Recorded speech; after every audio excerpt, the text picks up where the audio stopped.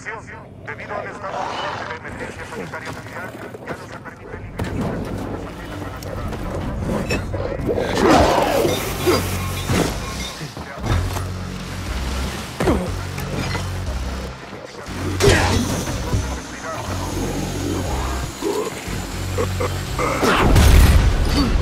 Yeah.